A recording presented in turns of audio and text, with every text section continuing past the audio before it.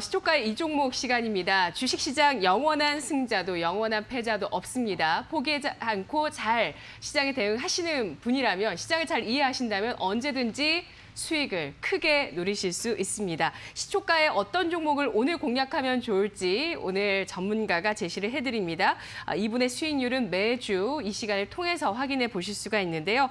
오늘 시초가의 이 종목 시간 유진 투자증권 서울 WM센터 김영재 영업이사 만나보겠습니다. 안녕하십니까? 네, 안녕하십니까? 네, 역시 김 이사님의 종목도 지난 종목 모두 공개해 드리겠습니다. 첫 번째 종목을 포스코를 꼽아주셨어요. 주간 기준, 그 추천 이 종목을 선정해 주신 그 주간 기준으로 해서는 1.66% 수익이 낮지만 편입가가 33만 원인 만큼 어제 종가 37만 7,500원, 10% 넘는 수익이 나고 있고요. 서진 시스템이 1.15% 주간 고가 기준의 수익률입니다. 삼성 엔지니어링 지난주 종목이고요. 15.33% 수익률이 나오고 있습니다. 21일 매수했던 삼성 엔지니어링을 중심으로 살펴보겠습니다. 아, 이날 매수를 하고 어제 종가 기준으로 13% 수익이 났고요. 주간 고가 기준으로 15.33% 수익입니다. 말씀해 주신 주간엔 사실 별 움직임이 없다가 지나가면 갈수록 수익이 높아지는데 관록의 힘인가요? 아, 제가 네. 정보 선정을 원래 한 6개월 이상 뭐 장기적으로 보고 추천해드리기 때문에 주간 예. 단위로 보시면 안 될 것 같고요. 네. 네. 그리고 뭐 삼성 엔지니어링 좀 빨리 좀 움직였는데 사실 최근에 가장 저평가된 종목이 아니었나라고 저는 판단하고 있었습니다. 그래서 좀 장기적으로 가시는 가시는 게 좋은데 이제 수급이 상당히 좋아졌습니다. 기관 외국인 동시에 지금 어, 상당히 큰 매수세가 들리고 있는데 특히 어, 지난 일주일 동안 어, 기관은 159만 주를 매수를 했습니다. 그래서 5거리를 내내 지금 상승하는 모습 보였는데 어, 일단 거래가 실리면서 수급도 개선되고 있어서 전략적으로 좀 더 가져가셔야 될 것 같고요. 어, 가격 전략은 사실 지난 시간 보수적으로 산출한 목표 주가보다 조금 더 올릴 수도 있을 것 같습니다. 그래서 2만 원 정도로 목표 주가는 상향시키고 아, 손절가는 그에 맞춰서 조금 상향해서 어, 네. 15,300원으로 수정하겠습니다. 알겠습니다. 건설주 가운데 삼성 엔지니어링을 꼽아주셨고요. 목표 주가 2만 원으로 상향 조정하겠습니다. 손절가는 15,300원으로 수정합니다. 그러면 오늘은 어떤 변수를 주목하시는지 오늘의 업종 선정해 주시죠. 네, 오늘 업종은 사료 업종인데 뭐 어제도 상당히 좀 잘 움직였는데요. 네. 어, 최근에 그 사료의 원가라고 할 수 있는 곡물가 그리고 운송 비용이 좀 많이 상승해서 어, 가격을 인상할 수 있는 그런 요인들이 많이 생겼습니다. 사실 어, 이번 연도만 해도 벌써 두 차례 가격 인상이 있었는데 올해 전반적인 수익 개선 기대할 수 있다고 보고 있습니다. 네, 어, 전반적으로 수익 개선 예상되는 사료 업종입니다.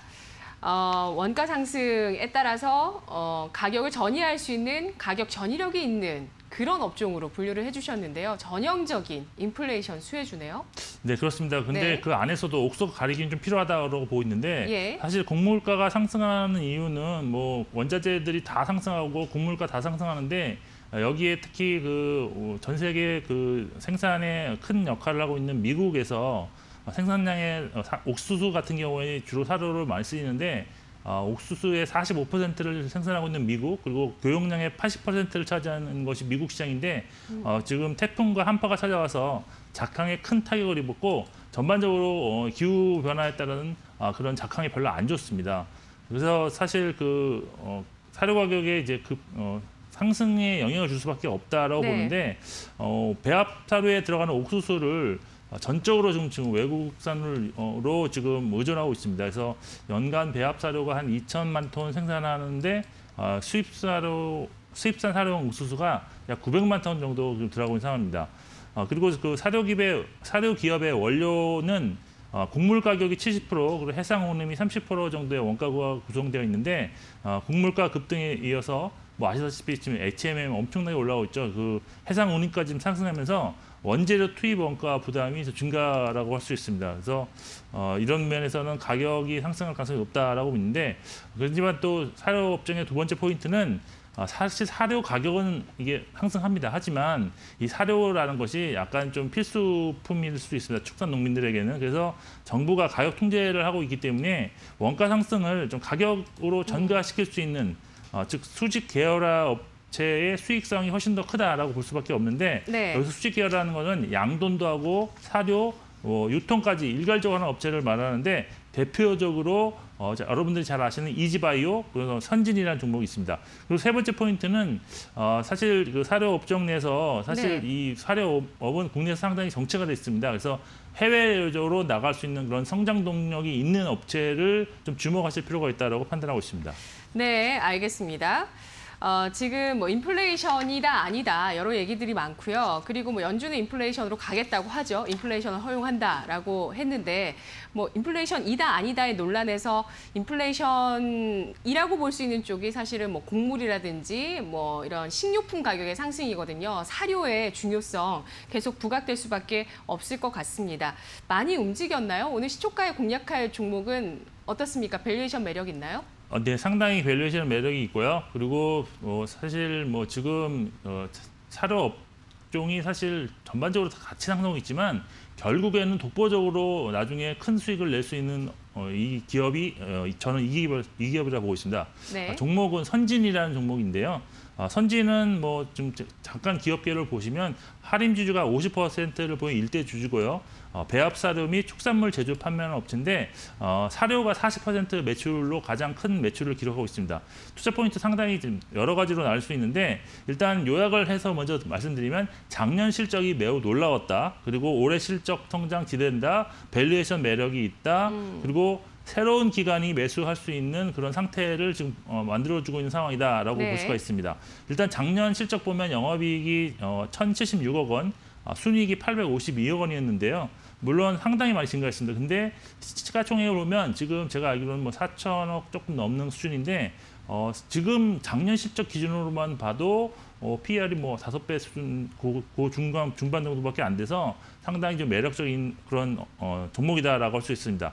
실적 성장한 원인이 좀 국내 부분에서 실적이 성장된 것이 아니라 해외 5개국에 진출한 자회사들의 실적 성장이 아주 돋보였다라고 볼 수가 음, 있는데 음, 네. 사실 국내 부분은 어, 사실 영업이익 기준으로 보면 역성장을 했습니다. 그렇지만 해외 부분은 영업이익을 국내보다 훨씬 더 크게 나타내면서 영업 이익률을 보면 사실 별도를 보면 이제 국내 부분이 나타나고 연결은 약간 그 국내 부분이 약간 포함되어 있지만 거의 대부분이 해외 부분에서 재무제표 보실 때 연결 기준을 한번랑 별도랑 비교를 좀 해보시면 되는데 지금 어, 별도 기준으로는 영업이익률이 3.2%밖에 되지 않지만 어, 연결로는 18.7%를 기록해서 어, 상당히 그 다섯 배가 넘는 수준으로 어, 지금 해외 부분이 정말 고성장하고 있다라는 걸 알 수가 있으실 겁니다.